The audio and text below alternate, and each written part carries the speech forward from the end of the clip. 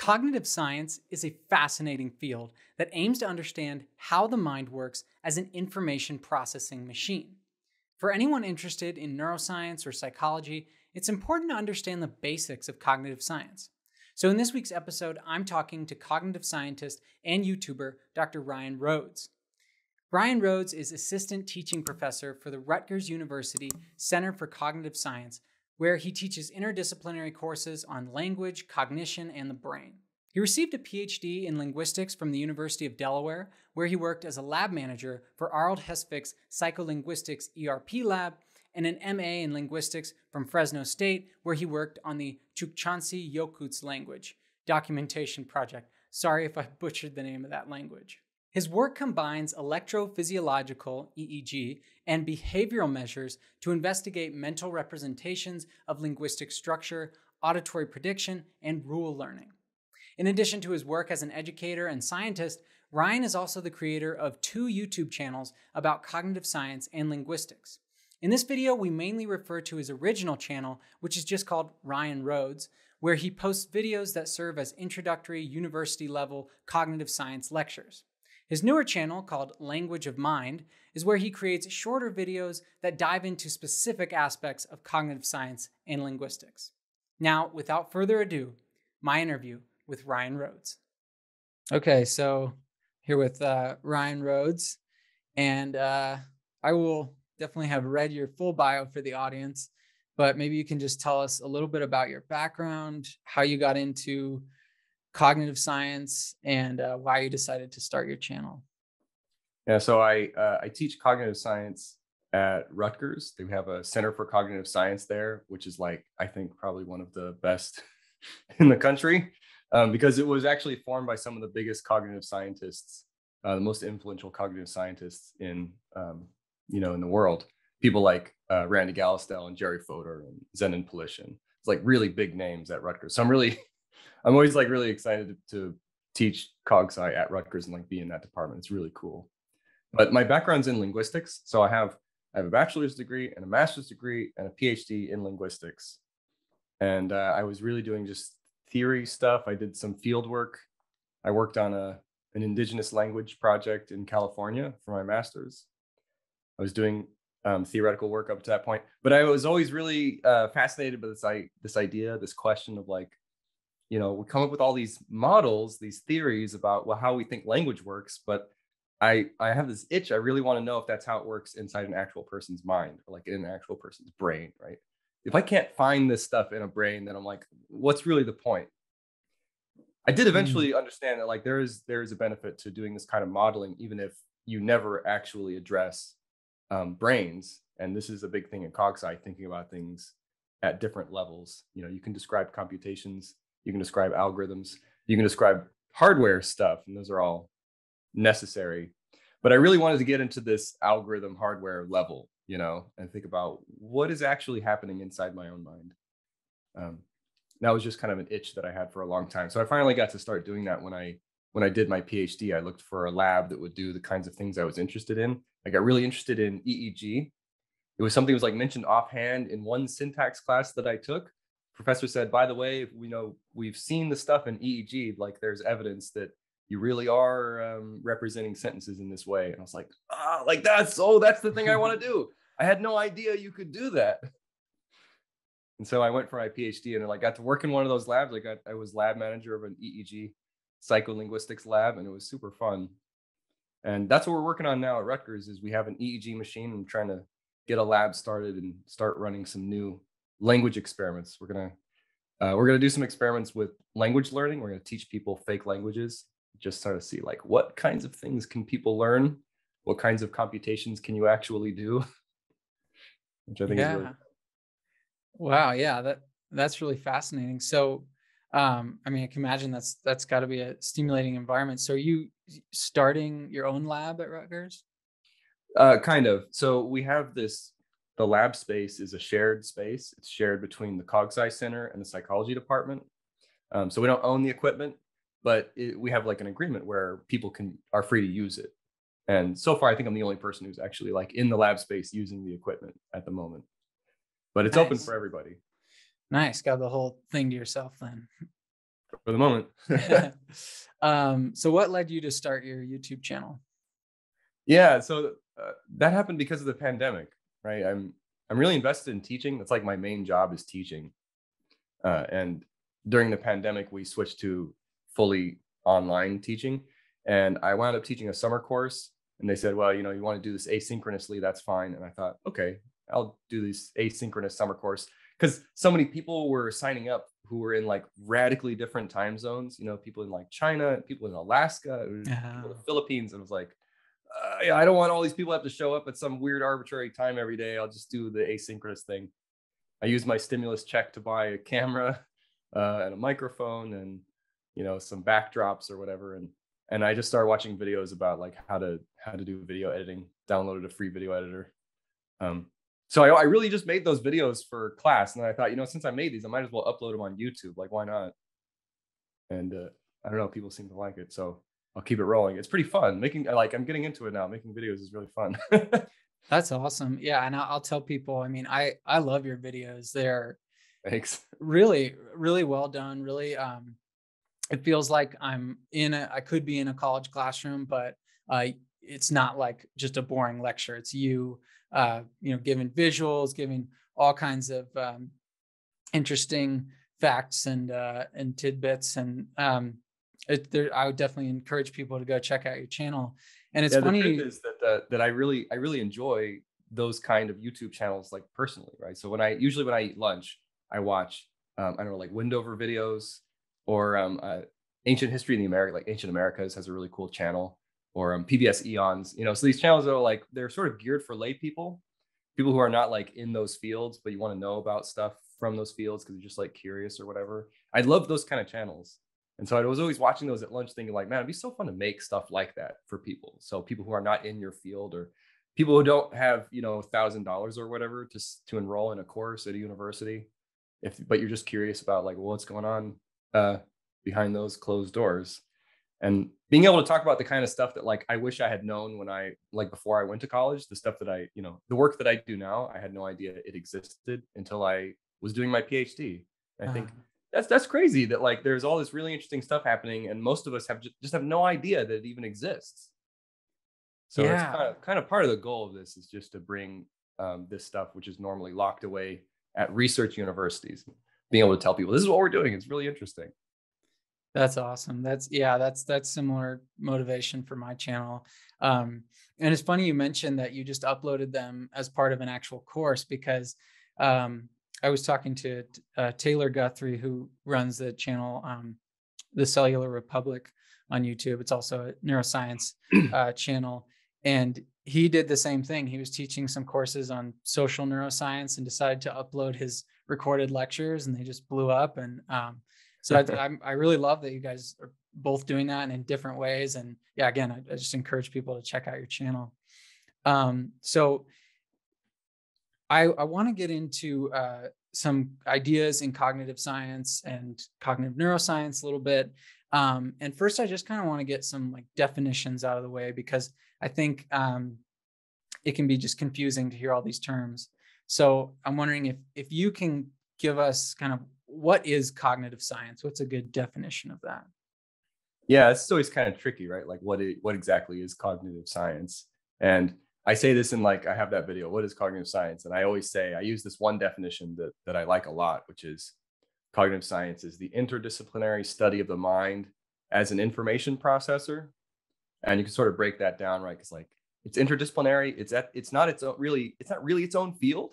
It's just the intersection of you know like five or six different fields. Mm. So you can be a cognitive scientist if you're a linguist. It's like I'm a linguist, um, but I'm doing cognitive science you can do cognitive science as a psychologist, as a neuroscientist, as a computer scientist, as an anthropologist. Actually, I'm working now with a guy uh, at Rutgers who his background is in um, archaeology, and he hmm. switched transition from archaeology. Now he's studying decision making, but he studies like the evolution of decision making and how you can see um, human intelligence evolving and cognition evolving um, by looking at stone tools and like the process of how people made stone tools you can sort of assess their cognitive capacities and like that's super interesting and you like all these different fields have very unique things that they can contribute to answering questions about how the mind works So that's that's my like in a nutshell. What is cognitive science? It's the science of the mind tackled from every possible direction. Yeah, that's interesting. I how, would you how would you distinguish it from like psychology? Well, psychology is one piece of it, right? So psychologists will study stuff like um, how the mind works and how you mentally represent things, how perception works and memory and things like that. But then there's a lot of other stuff in psychology that's not really cognitive science, right? Like clinical stuff, it's not mm-hmm. exactly cognitive science. Studying personality, you're getting a little bit farther away from cognition. So uh, uh psychology is a really big umbrella and there's sort of a, an intersection, right? There's cognitive science is interested in some of the same things that psychology is interested in, and we're drawing from that. Same way that we're drawing from some of the stuff from linguistics and some of the stuff from computer science and some of the stuff from neuroscience, but not everything from neuroscience, right? Because we're not necessarily interested in um, uh, like the really cellular biological stuff. You know, maybe maybe some cognitive scientists can uh, find a way to leverage that into explanations of cognition, but um, for the most part, you know, we're interested in in these maybe higher level questions. Gotcha. I forgot. I forgot philosophy. Philosophy is like the most important one. How does philosophy uh, contribute to cognitive science? The philosophers, I feel like, are the ones who really kick the whole thing off, and they're the ones that keep us grounded. You know, they're like reminding us what the questions are supposed to be. Mm. Nowadays, philosophers have a really interesting role to play because I know that there's always this back and forth, especially with like STEM versus humanities, right? Where STEM is like, do we even need philosophy anymore? What are philosophers even doing? What's the value of it? And I think it's really easy to to get into that kind of mindset where like, you know, where show me the results philosophy. You know, you've been doing this for like 3000 years. okay. But philosophy philosophy is really important, right? It, it, gets us to think about the right kinds of questions. They're the they're the people who are saying like, well, I mean, have we really thought about this in the right way? And they have another interesting function nowadays. You see people like um, you know, Dan Dennett or Andy Clark, they're doing really interesting work where they will basically read a ton of scientific literature across several different fields sometimes. And they will synthesize it. They'll say, like, look, I read all this stuff about consciousness. Dan Dennett is really into this, right? He's like, here are all the studies about consciousness. And if you read through all of it, you can sort of find there's a story here about um, what consciousness really is and how we should how we should think about it and that's difficult to do when you're like a neuroscientist and you're really fixated on like looking at very narrow things um, there's this kind of insularity when you're embedded in a field and you ask these like more and more and more targeted questions you need someone to step back and say like okay i'm going to take a look at the whole field and, and um, tell you some kind of story about where this is all headed and maybe how we should be thinking about it and philosophers are i think very good at that yeah yeah that's interesting dan dennett definitely and uh um, I remember Douglas Hofstadter, uh, mm-hmm. also kind of a crossover cognitive scientist slash philosopher, and he said something almost identical to that. Like, um, you know, it's it's the people who are too deep into the fields that like into an individual field that can't sometimes can't see the bigger picture. So yeah, you yeah, need to be able to like zoom out and yeah, exactly. See the bigger picture. Yeah. That's great. Okay. Well, so um kind of I guess this is a core component, correct me if I'm wrong, of cognitive science, um, the computational theory of mind. So maybe we can talk about what that is. Yeah, that tends to be like a sort of core assumption in cognitive science. It's sort of like one of the core frameworks that cognitive scientists tend to adopt about how we should think about the mind. So this is a question, right? If we're going to do a science of the mind, and the question is how what's the right way to think about what a mind is and what a mind does? And for a lot for most cognitive scientists, we want to think about the mind in terms of uh, thinking about what the mind is doing in really functional information theoretic terms. And that's where like computation comes in. So when we think about what the mind is and what the mind does, we're thinking about computations. And that's that's the core of computational theory of mind. That is the right way to think about the mind is that the mind is some kind of symbol manipulating computer. Eh, analogous to like you know an electronic computer or whatever and people like andy clark will say like okay it's not even just a metaphor right it's not that the mind is like a computer the mind literally is a type of computer and then if that's your background assumption that we should think about the mind as literally being a computer then the question is well, what kind of computer is it and what kinds of computations does it do and we get you know this is even quoted in like like in linguistics so some of the stuff that i'm working on uh, the researchers will uh, the theoreticians will say things like this. They'll say, well, if the mind is a computer, we want to know what kinds of computations it's doing. That's what we're really interested in. That's the goal. Yeah. Okay. So that that makes sense. Definitely. Um, so I think it like for me, it sometimes gets a little fuzzy where the boundary between the mind as a computational system and the brain as kind of the the underlying hardware and also itself a computational system. Um, mm-hmm. So how do you see those those two as different? Maybe that has to do with um, this distinction between cognitive science and cognitive neuroscience. But however you want to tackle that question. Well, yeah, this is this is another one of those really central um, framing issues in cognitive science, and this is a, another one of those uh, things that we sort of is our background assumption. We take this actually from um, a vision neuroscientist named David Marr, who had a relatively short career. He like tragically died of, I think he died of leukemia hmm. at like 35. He was he was very young, but he had like a really influential career in that time because he wrote um, some really influential papers about the neuroscience of vision, and he wrote a book that was published um, posthumously and from that, we get this sort of foundational framework uh, that we refer to as either levels of analysis or levels of explanation or whatever you want to call it, the Marrian levels, where he says the right way to think about this kind of stuff is to break it into a couple discrete levels that give you very different kinds of explanations. And the reason for that is that you can't ever, you're never going to understand something like the mind if you're just looking at neurons. That this is kind of his his uh, argument is you know suppose you knew everything that you could possibly know about the biology of a brain. You know everything. You know exactly how all of the neurons are structured. You know all their biology. You know how they all connect to each other. You know how they fire whatever all of the facts are then the question is if you know all of that do you know how a mind works and i think even intuitively you can see like yeah i don't know if i knew all of that i'm not sure exactly what i would have learned because none of that is really legible to me. It doesn't. It's not. Uh, it's not something I can readily understand. The same way that if I if you ask like what's going on in your computer right now, right? Like it's doing this information transfer protocol, so it's showing audio and video of both of us at the same time. And I say like, well, what's going on in your computer? And you show me some kind of map that shows where all the electricity is going through different logic gates. I'm like, that that doesn't mean anything to me. I don't know what that means. There's kind of a similar problem, right? And one way of solving this problem is uh, is to think about it at different conceptual layers. So with this thing, the Zoom thing, right? Think about what's what exactly is happening. Well, one layer of explanation is just say what it's doing in terms of um, you know the goal of what's being accomplished here. It's like, well, it's transferring sound and audio in, in synchrony. Okay, I understand that. That makes perfect sense. No, well, how does it do that? well there's like another layer of explanation which is maybe like a software layer of explanation right where it's like oh it's encoding information from my camera in a certain way like a grid of um, like a matrix of numbers somehow and then does some kind of compression algorithm or whatever like we can describe kind of the steps it takes to manipulate the information but again i'm not talking about the uh, the electronics of the computer right? I'm just talking about like how information is being changed. And then i could say okay well how is that stuff actually implemented in the electronics of my computer? So we can do the same thing for a human being, right?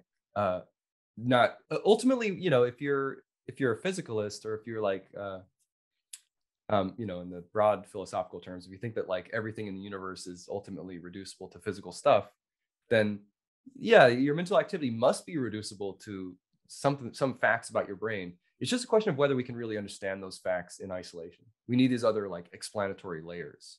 Say, what are the steps that the mind undertakes to manipulate information uh, what's the actual computational goal is trying to achieve then you can link those things together and and get a clearer picture uh, that, that's great that's yeah that that's definitely a clarifying way of looking at the issue for sure um, okay so i think we've got kind of a, a handle on on these definitions um, so i kind of want to jump into some more conceptual questions about, um, I guess, concepts in cognitive science um, to kind of give people a taste of the sorts of topics you cover on your channel.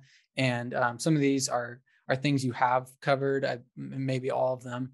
Um, and actually, I, I want to quote you because I just found this quote so helpful in my own thinking. Um, and then maybe we can we can discuss it a little bit. Uh, but you say in one of your videos that, or maybe more than one, but uh, you say the mind is an information processor that performs computations over representations. Mm-hmm. So I mm-hmm. think we've we've sort of been talking about the information processing aspect of it, and maybe we can discuss this idea of representations, mental representations. So maybe you can describe what are those, and maybe the the different types. yeah, that's a big question, but this is a this is again like a really central thing in cognitive science. If you're going to think about the brain in terms of, or the, think about the brain, think about the mind in terms of the computations that it does, then the question is, well, what constitutes a computation?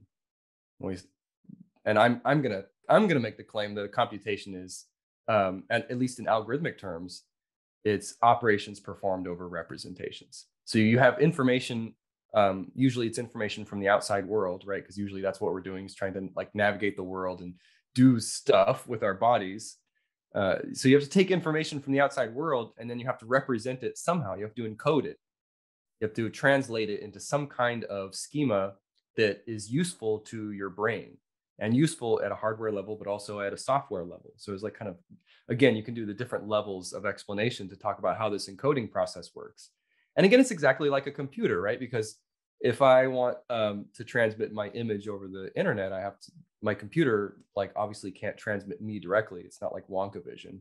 It has to like take the information from the outside world and, and encode it somehow. So it's like, you know, has um, light detecting sensors that can translate light values of light into numbers and then the numbers are the things that's the representation of the stuff from the outside world that it can actually manipulate and do things with and then on the other end you know on the monitor converts those numbers back into light that it can emit um, so there's something similar happening in the mind you know you see things you look out your window and you see a bird or something light hits your your eyes hits your retina those photosensitive cells at the back of your retina and then converts that into some kind of electrical signal. It's like very similar to a computer.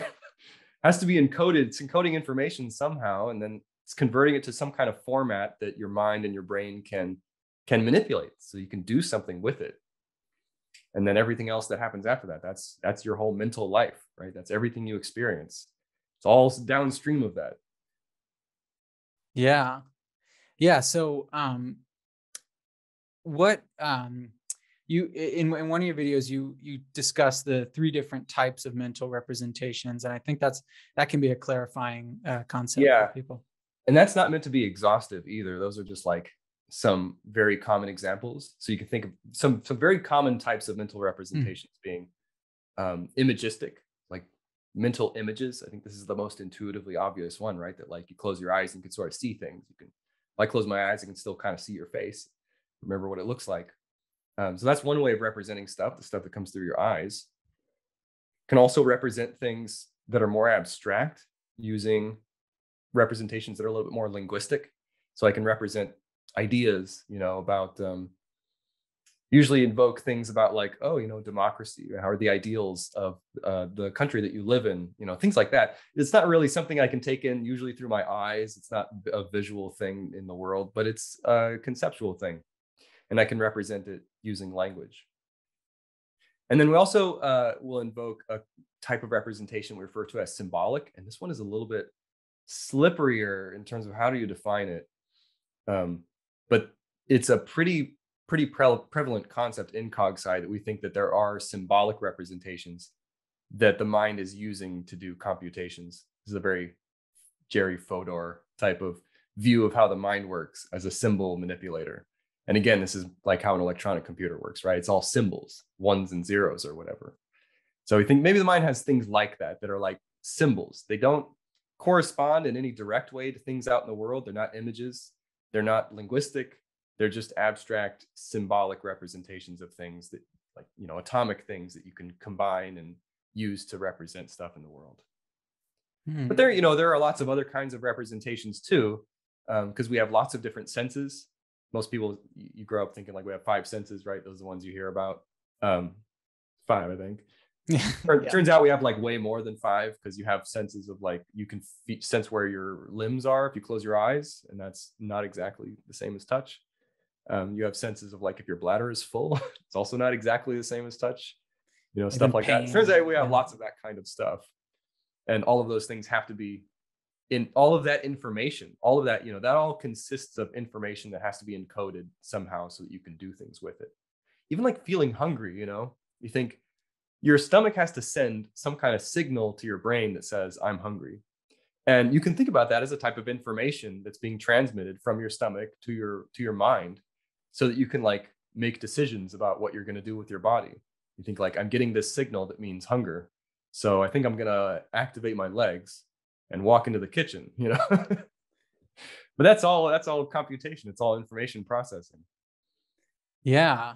Yeah okay so that that does make sense. Although i i kind of want to go back to the uh the symbolic representation. So can you think of an example of something of like a symbolic type representation? I can think of examples in linguistics. So Hmm. linguistics is is mostly symbolic. Like all of the, the models that we have about how we think language works are really symbolic um, they all involve symbolic computations and symbolic representations so it's a little bit difficult to tease apart if you um, you know if you've never taken a linguistics class it's some, sometimes hard to get into the headspace of thinking the way linguists want you to think but think about something like um, you know we think of a couple words like pet and I, I think I used this example in one of the videos pet, cap, and spy. You know, what do these three words have in common? And most people are going to have an intuition. Most of us are literate, so we're all going to have the intuition like, oh, they all have the letter P in them. I was Uh, and going to say are like, noun oh, they're all, oh, they're all nouns. Yeah. I think. Although English is pretty flexible, so I think they can also all be verbs.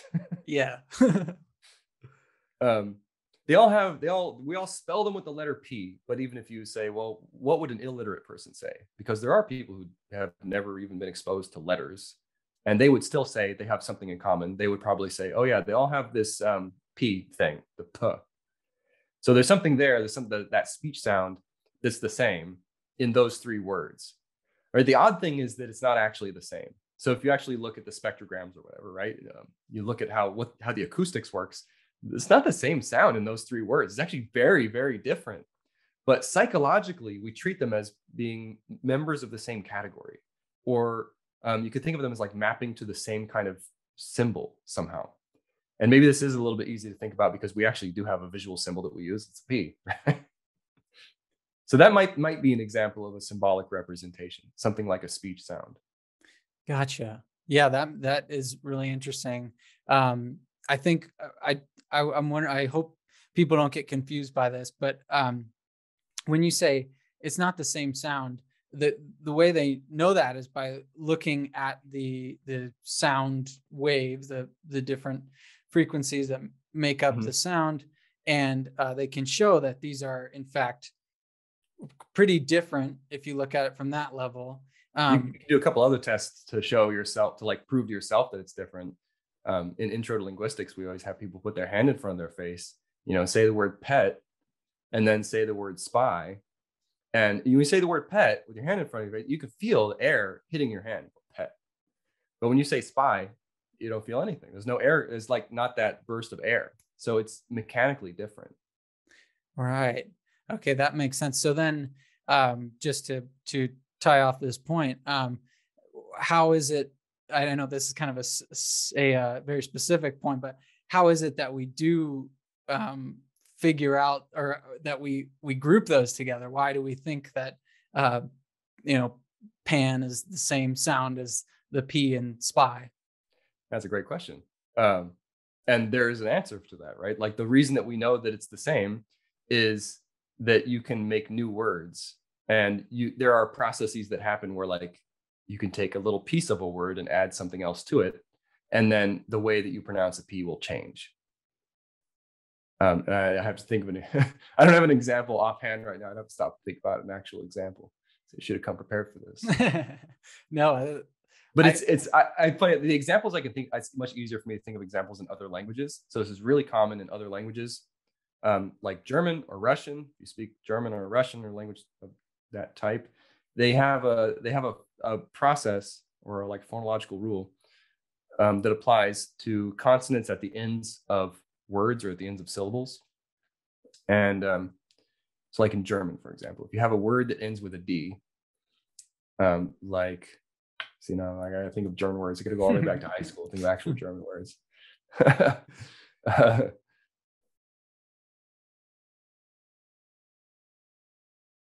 I guess I think of an adjective like um, this is morbid, but the adjective like the word for dead is tot in German.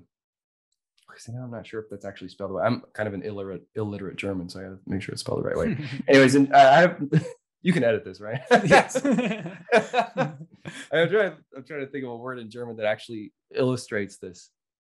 Oh, okay. Here's a word. Um, the word for day is Tag, and it's it's spelled with letters. It's spelled T A G, but it's pronounced Tag. And uh, if you, we in German class, we used to have a thing called the word of the day, and it was called Wort des Tages. And so if you add that es suffix, it the word shifts from being Tag to Tages, where it changes kind of from a K to a from a K to a a G. You think like, well, why is that happening? Um, well, because underlyingly, it's actually it was always a a G. It's just that there's some kind of rule that applies that changes it to a K in that context. But when you change the context, it changes how the sound is pronounced. But the underlying symbolic representation is the same. And that's the thing that's really interesting. So you have in English this pet cap spy thing where the sounds are really different in terms of their acoustics, but it's the same underlying mental representation, we think. That's the that's the theory. That okay, yeah, that that does make sense. Um all right, so now we've we've kind of gone down this rabbit hole a little bit of a symbolic representation, but um, something that I thought was was very interesting in your video on mental representation uh, that i'd heard of before, and I, I, think is just really great for people to understand. And the way that you describe it is is really interesting. Um, so I think it's the Wason selection task, um, mm-hmm. and uh, how or I'm sorry, no, that was that's the wrong one. Um, sorry, the uh, different that was different one, but uh, the Weber's law of just noticeable yeah. difference. Um, right. So, what does this have to do? What is it, and what does it have to do with mental representation? Yeah, Weber's law is kind of interesting, um, and it's one of those things I think makes intuitive sense when you think about it. But the basic premise is, say you you take a glass of water and you dissolve some salt into it. Uh, and then I take another glass of water and I dissolve some salt into that one. And you know, you have two two glasses of salt water and you taste it. You taste the other one. They say, okay, which one has more salt in it? Uh, it's a lot easier to tell the difference between the two if the difference is really big than if the difference is really small. That's obvious, right? That like it would be way easier if this one has twice as much salt. It'd be like, ah, you know. And if this one only has a tiny bit, I'm like, okay, it's not that bad. I can tell the difference really easily. But what Weber's law says is that that ability to tell the difference between two things, it's not just a function of how different they are from each other. It's also a difference. Uh, it, it's also dependent on how much of the stuff there is in the first place. So it's really easy to tell the difference between you know two eight ounce glasses of water if one is um, you know one is a little bit more than the other.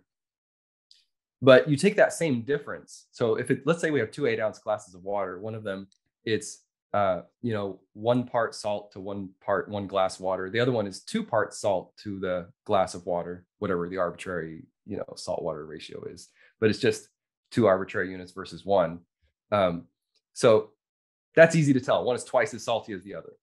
Now scale it up so that you've got like a water tower, you know, full of water, and one of them has you know this amount of salt to get that concentration and the other one has that plus another four ounces of salt water concentration and you're like that four ounce difference that's really easy to tell when you're when you have two eight ounce glasses but a four ounce difference when you've got like a water tower full of water is impossible to tell it's just like how could i possibly detect a four ounce difference in saltwater levels when i'm dealing with you know a million gallons or whatever that's a really extreme example but it's like that's the basis of weber's law so same thing if you were going to like compare lengths of lines.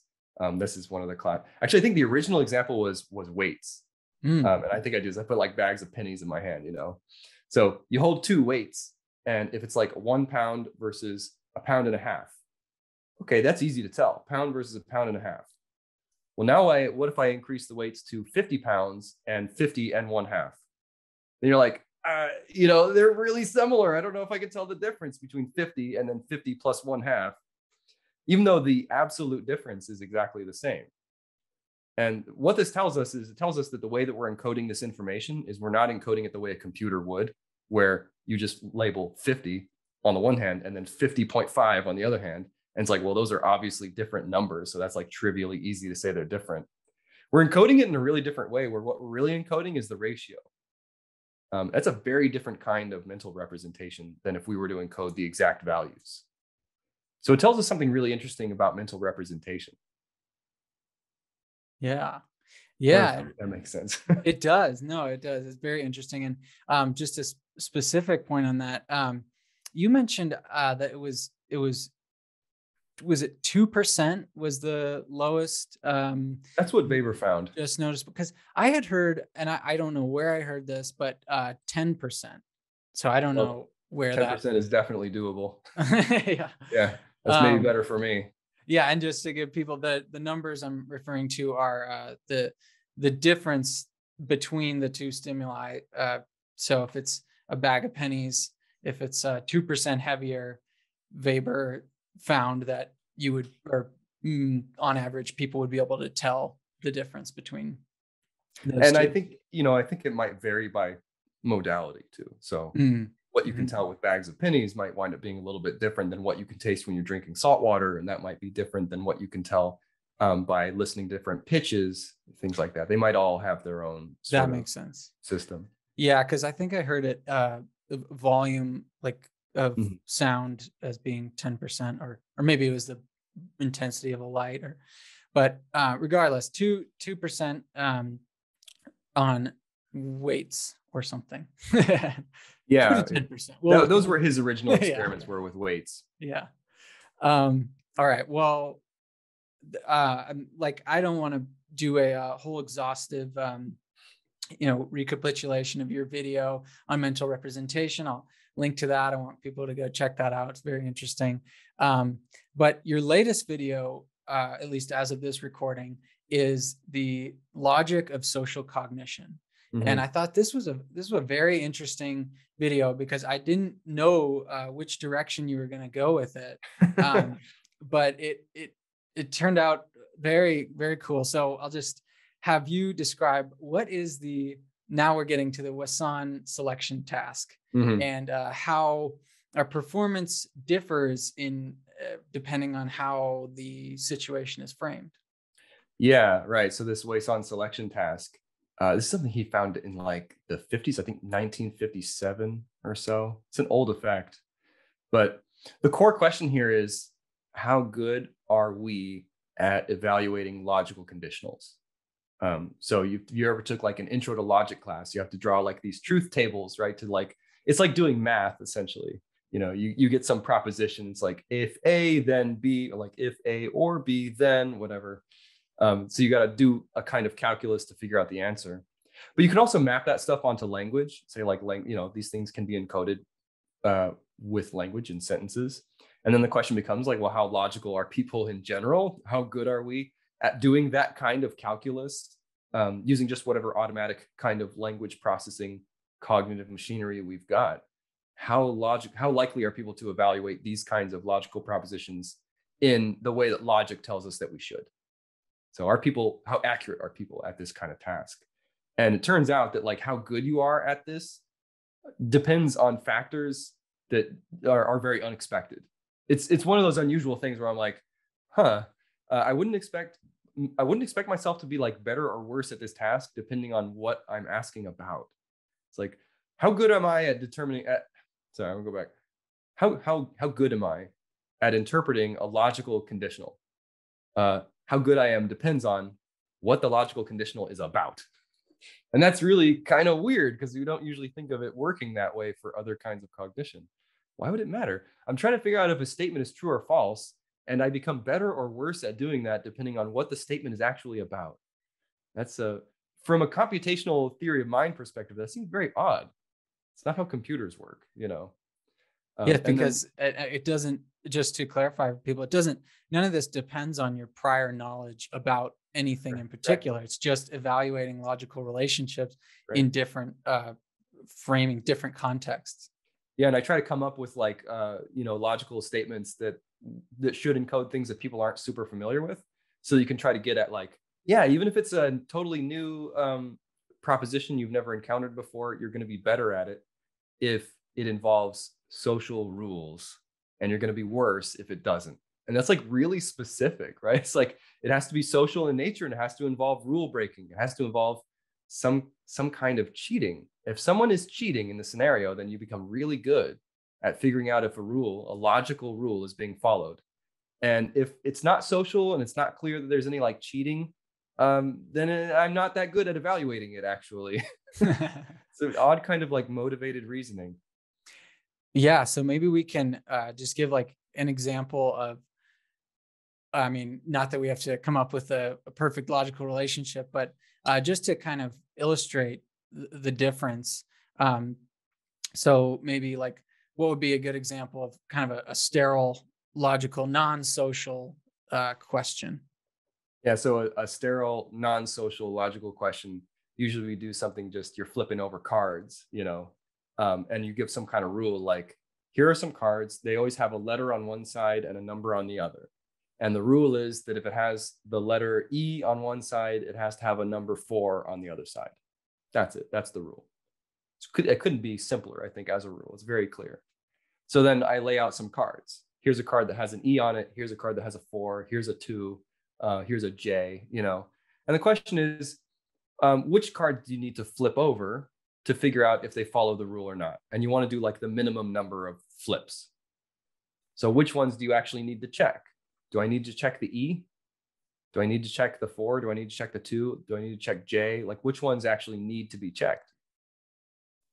And the first time I when I was introduced to this, I got the wrong answer. Most people seem to get the wrong answer. Or maybe it's, you know, like 60 40 or something. It's it's surprising. Like it's not everybody, but it's it's a lot of us. And even, yeah. you know, if you've taken like I've already I had took I had taken a logic class. And so I was like, huh, that's funny that this kind of got me. So I always tell people you shouldn't feel bad if it gets you, if you get the wrong intuition. It's very normal. Yeah. Yeah, no, and I, I think I, I definitely got it wrong um, watching your video, and I've I've seen it before too, and I just was like, no, okay, uh, not not gonna work. But um, but on the other hand, uh, there are these examples where it's kind of in a social situation, and mm-hmm. then people's performance goes up, even though you know you could say these are logically equivalent mm-hmm. statements, logically equivalent uh, questions. Um, so what would be like an example, and, and it's a specific type of social situation involving cheating. So what would be an example of that kind of question?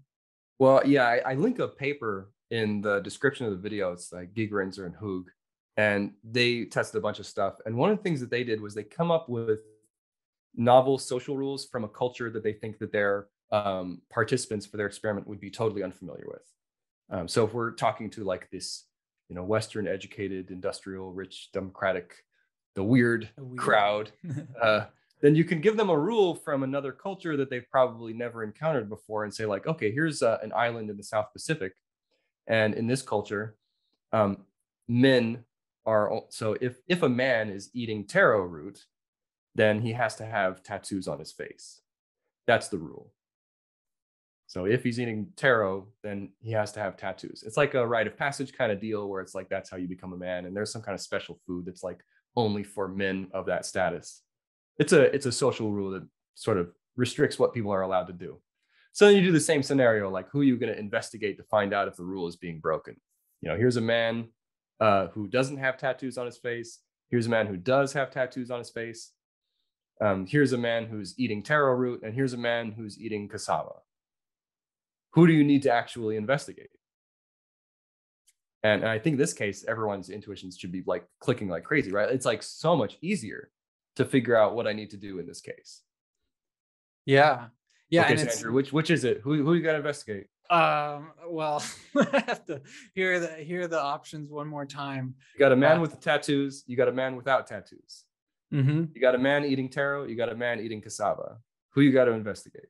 And the rule is if he's eating taro root, he or wait, is it if he has a tattoo? It's if he's eating taro, he has to have tattoos. Okay, okay. Then you would just need to investigate the man eating the taro. Yeah, you got to figure out if he has tattoos or not, right? Yeah. And then also you need to investigate the guy who doesn't have tattoos because you need to make sure he's not eating taro. Right, right, right. Yeah. And that's like super clear, I think, to almost everybody who hears this scenario, even though you've almost definitely never been in that situation before. And it's probably a totally novel rule. Yeah. And I will say, I think uh, the the audio, audio medium might be a little bit more difficult to wrap your head around yeah. what we're talking about. But uh, again, go check out Ryan's video, "The Logic of Social Cognition." It make total sense. Um, so, what does that say about it? What does that say about um, how we think, and and what does it say about our evolutionary history? Yeah, that's the interesting question, right? Is like, why would this be true? And is there an evolutionary story for why this would be true? And um, John Tooby and Leda Cosmides, they've kind of made their career out of uh, investigating this, and they have their theory, which is that, well, um, you know, it seems like we just have some kind of very dedicated mental module for detecting cheating. Like we're just hardwired to want to detect cheaters. So when you present this to me in uh, some some abstract rule where it's like letters and numbers i'm like i don't i don't care about that. My my mind has not been like evolved to solve that specific computational problem. My mind has been evolved to solve a much narrower computational problem and that is to find cheaters. And it's like i'll do whatever i got to do to figure out who's cheating even if that means being really good at logic. But it's really weird because you think like well if my brain does have the ability to evaluate these logical conditionals um, really accurately why does it only activate in this case and not in the other case? That's a i don't know i still think that's a bit of an open question. Why is it so selective? Clearly you have the cognitive capacity to do it but it's like it only activates in certain situations and not others. Yeah it's pretty amazing. It's almost like it, it can only be activated by specific cues about about cheating and uh, yeah. free riding and right yeah right, so exactly. I mean I, I love that that problem um it's it is really just intriguing to wonder what what is what is the deal with that um there are so many things like that too oh yeah yeah and um speaking of that i i kind of i want to maybe zoom out a little bit and ask you some kind of bigger questions maybe bordering on philosophical questions mm-hmm. um if you're all right with that we can kind of jump sure. into that all right. And I'm not a philosopher, but I'll try. No, yeah, yeah. um, so we've been talking about the computational theory of mind, cognitive science, um, and usually most of my guests tend to be on the like neuroscience side of things. So I ask this very simple, uh, easy question of how the brain works, um, and ask them to give me an elevator pitch type answer to that. Um, and so I guess I would put it to you how does the mind work? yeah, and I mean my my one sentence elevator pitch is going to be operations performed over representations.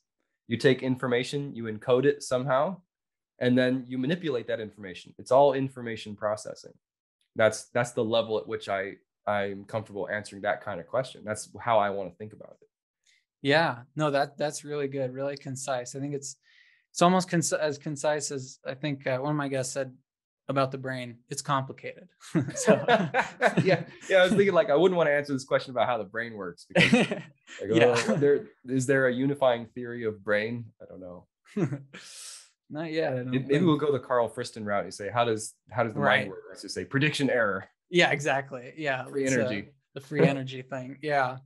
Um all right well great that was that was easy answer. We know the the answer to how the mind works. Um so this is something I ask everybody who's in these kinds of fields. Uh, what's your view of free will?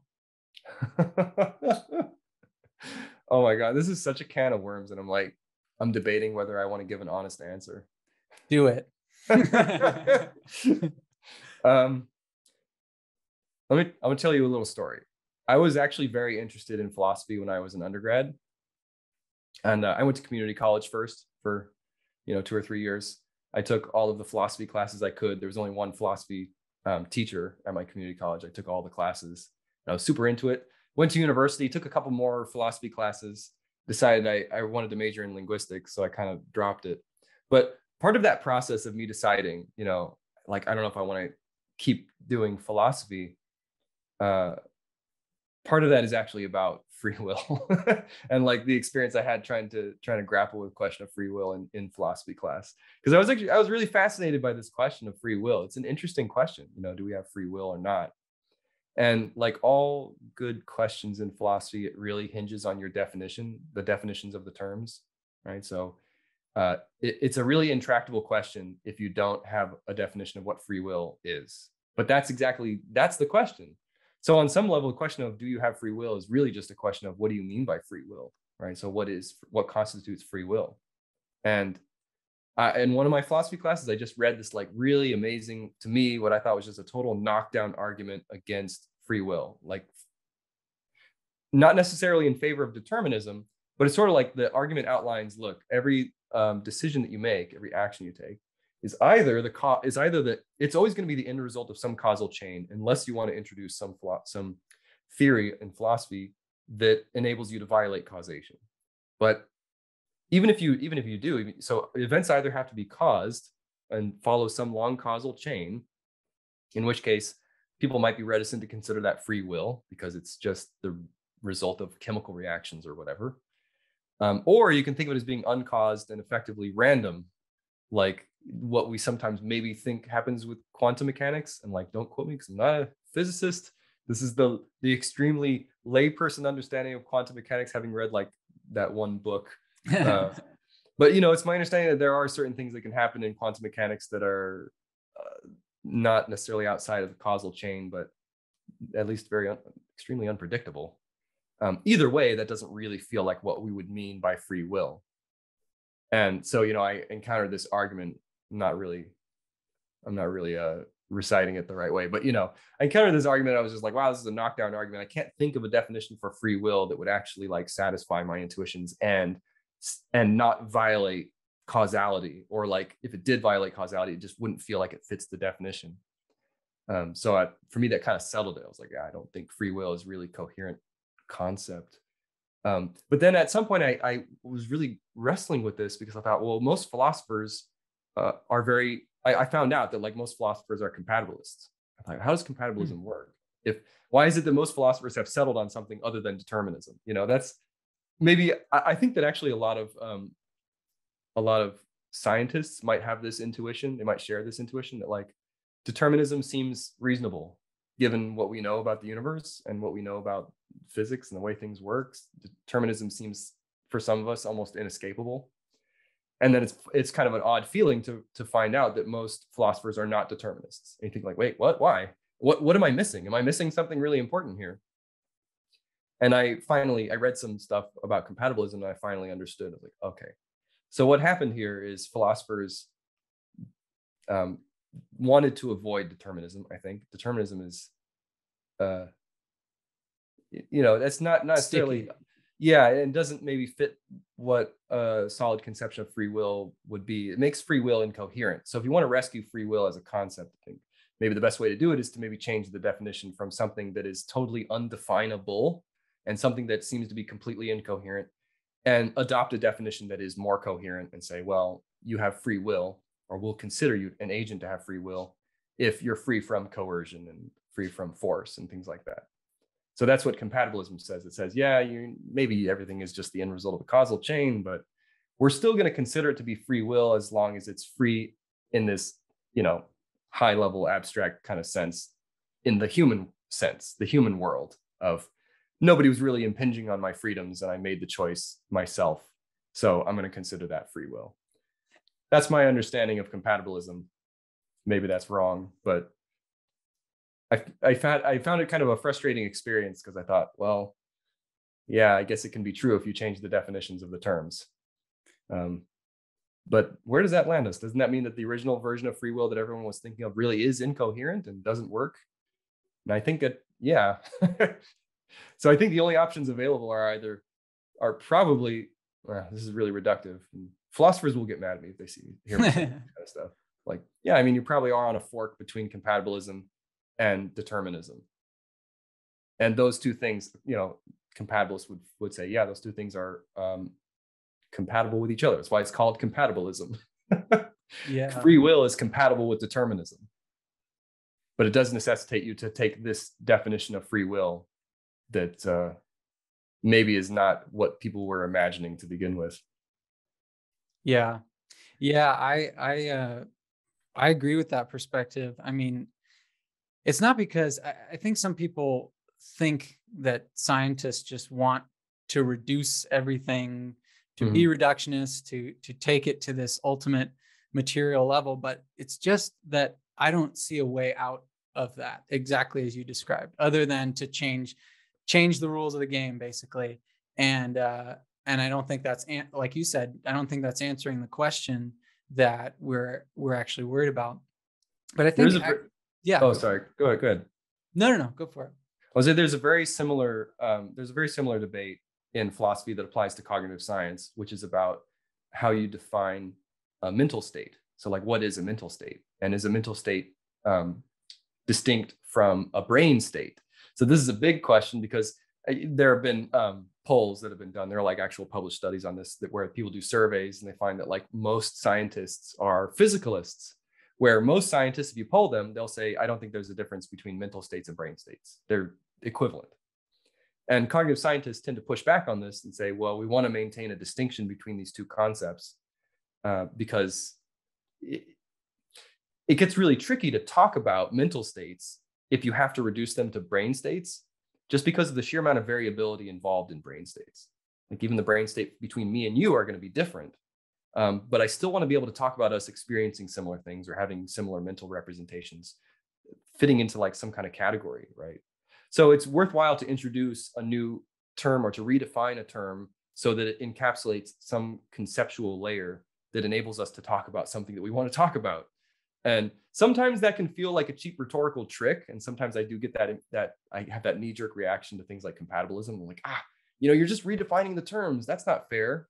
Um, but on another level, like, no, it's perfectly fair because we still want to be able to talk about this thing without getting quagmired into arguments about, uh, you know, causal chains or arguments about, um, you know, these fine details about neuroanatomy or whatever. We want to be able to talk about things at a different conceptual layer. So, yeah, you know, redefining terms can can serve that purpose. Yeah, that's true. I, I mean, I don't mean to dismiss that project entirely. Um, I guess I think where I where I think the rubber meets the road for most people on this is well, okay, if you and I are sitting here saying there's no real free will, no no libertarian free will as it's mm-hmm. called, um, where you you can change the the causal chain of the universe through some sort of mm-hmm. mind uh, thing, uh, mental, you know, act. Um, but what does that mean for me as a person? How how can i look at my life and say well there's all these things i want to change about myself or this growth that i want to have in my life. Um, how do we make this idea compatible with people you know changing for the better hopefully?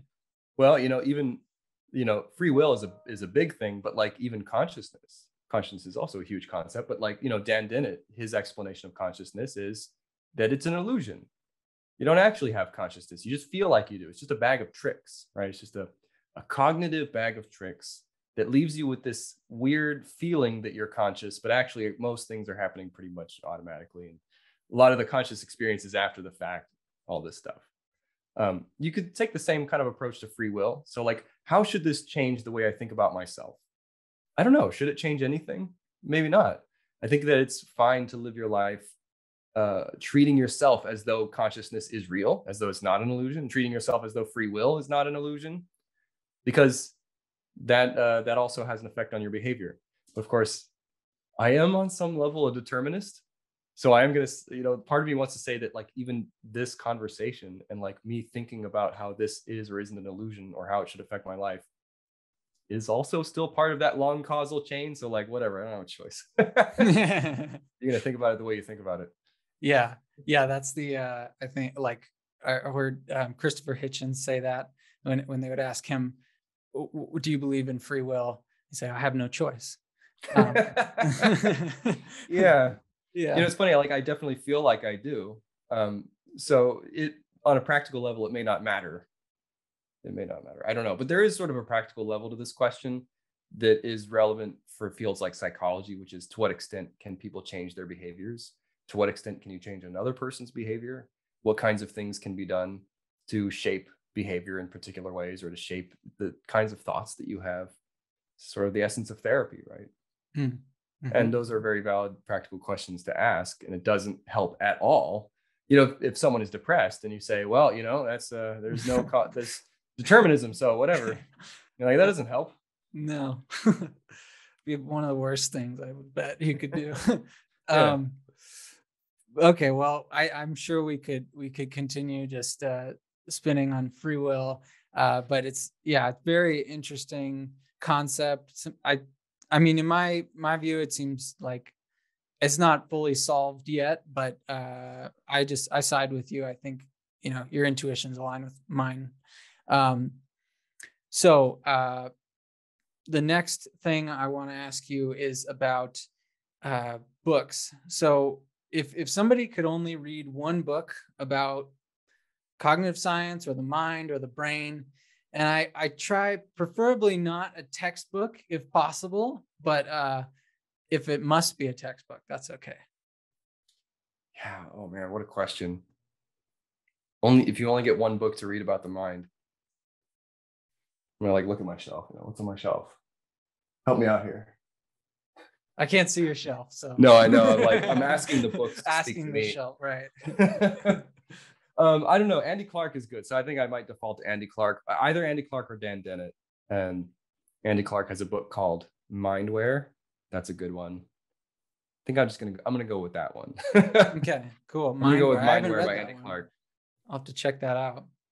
Um, well, that that's good. Right? What was it? Sorry, Mindware by by Andy, Andy Clark? Clark. Okay, cool cool. I'll put a link to that.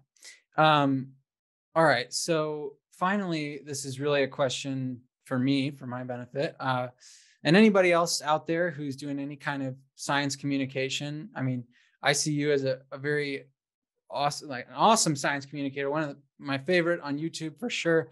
Um, so I'm just wanting to know what is your, how do you think about communicating uh, these kinds of complex topics to a general audience and i guess your your audience might be more skewed toward like students toward people in college but right now it definitely i think is. Okay. I hear from a lot of people watching my channel that say like oh i'm i'm thinking about majoring in cognitive science or uh, things to that effect. I'm like oh cool. But in terms of yeah science communication like how do you I mean, it's a great question you know how do you communicate stuff to to an audience? Um I you know I don't want to say that I haven't given any thought to this because I don't think that's true. I think I have probably given a lot of thought to this, but it's maybe hard to articulate. Uh, I guess I, I have this experience of of watching this kind of content from other fields, and so I have a sense of like, what is it like to be a person who doesn't know anything about this, and what do I want from you know someone who's explaining this to me? What do I want them to do for me? What do I want? How do I want them to explain this? And uh, I do think about that a lot and you got you got to sort of stay cognizant because I know you know we talked about this earlier how you can get really um, focused on very narrow area of your research, and this is this is a challenge. This is like a real challenge for people who have domain expertise. It becomes really difficult to understand what other people know and what they don't know, and to understand what they understand and what they don't understand. It's hard for all of us, and I still, you know, I'll think back to like the, some of the lectures I give, and I think like, oh, I still need to improve some of this stuff in terms of understanding where how to target this to people who have never heard of it before. It's challenging. But that's the main thing is to just try to stay aware of um, what kinds of background people come come at this with and what they know and what they don't know. And it's helpful if you've been through that experience yourself. So like i didn't i wasn't originally a cognitive scientist. I came to it pretty late. So i have kind of a sense of uh, what kinds of things stood out to me as i was entering the field that like really clicked. And I'm like, okay, those are the things that I can bring people say, like, here, look at this. This I think maybe will help you understand the whole thing. Um, so it, it helps if uh, if it helps if you've struggled because then you understand maybe what other people might also be struggling with. That's great. Yeah, that that reminds me of uh, another great cognitive scientist, um, Steven Pinker, mm-hmm. said mm-hmm. that, uh, it, or it might not be original to him, but he mentions in one of his books the the curse of knowledge, and yeah, this idea right. that it's much harder to know how uh, how hard it was to learn something originally, just as you were saying, Mhm. um, or to even remember that, even if you, you know, it, it was really hard for you to learn it, uh, it might not remember, you know, each of the individual concepts, how difficult each of those were for you to understand. Um, and then when you explain it to somebody, you want to try to really break it down because you have to exactly as you just said, like imagine that you're in their shoes and not knowing a lot about this subject. That's that's really cool. I've I've heard that from from multiple uh, uh people who I, I follow, and I, I love that point. I also have the benefit of being a teacher, and it's kind of like uh, you know how like you asked a question about how do um, stand-up comedians write their bits, and part of the process is going to the clubs and seeing what lands, you know. And so I have the benefit of like since I actually Right. teach live classes, I get to like take this stuff to class and try to explain it to people. And if they look at me like, you know, I get I get pretty immediate feedback about what works and what doesn't work, and that's helpful too. Yeah, I'm sure that is. That's that's like immediate uh, feedback. That's cool. Well, I think that that's just about it. Um, thank you so much for talking, Ryan. It's been really enjoyable, and I've learned a lot from you. And I, again, I know I've said this probably five times, but go check out Ryan Rhodes' channel on uh, YouTube. It'll uh, enlighten your day and your mind. And uh, yeah, so thank you so much. yeah, no problem. This, this was really fun. Great. And uh, can you tell people where to find you? Well, I, I have a personal website. Uh, it's wavyphd.com. So I think that one's pretty easy to remember and pretty easy to say out loud.